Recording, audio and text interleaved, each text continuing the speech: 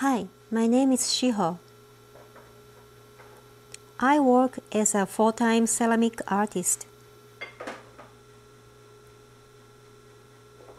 I'm working in this studio with my husband, who is a studio potter. I'm glazing raku pots. This process always makes them beautiful.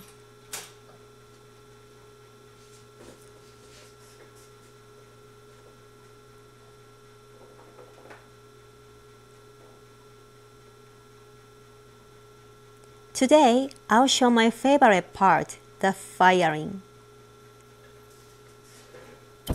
Let's get started.